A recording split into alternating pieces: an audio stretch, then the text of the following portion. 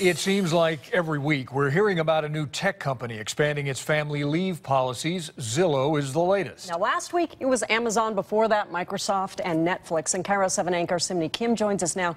So, Siemny, what's happening with this trend? What's behind it? Well, it seems like people are either jumping on the bandwagon or they're trying to one up each other. Zillow just announced new birth moms can take 16 weeks of paid time off, and all other parents can take eight weeks off paid. They're also throwing in a $1,000 gift card to buy baby items. Now, these tech jobs are competitive, and this is just another tool to retain and recruit talent. Do you want mommy to be in there with you or no? Andrea Smolin is 12 days out from her due date. She already has a four year old, so she's excited about Zillow's new maternity leave policy. I just think it makes it that much easier to to come back to work and feel fulfilled in both ways. 40% of Zillow's employees are women. Do they smell good? Yeah, it smells Okay. like apple. Zillow's chief operating officer, Amy Bohutinsky, is also a mother of two. She's serious about supporting a healthy work life balance at the company. For instance, today was basically bring your kids to work day at Zillow since kids were off from school. Botinsky believes this is another way to recruit and retain top notch talent.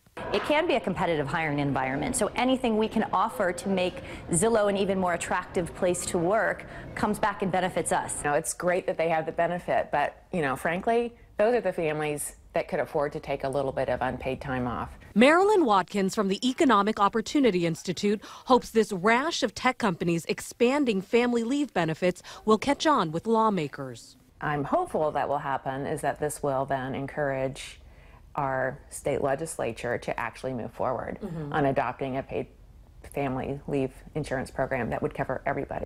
For now, companies like Zillow are filling in the gap. They've joked about how there's going to be a huge baby boom, and I can definitely probably see it coming.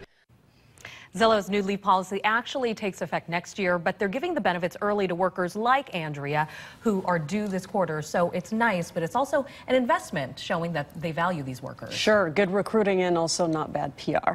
Oh, absolutely. And uh, happy paid worker is one who's more likely to come back. Did you hear that, all you bosses out there? Okay, thanks a lot, Siemny.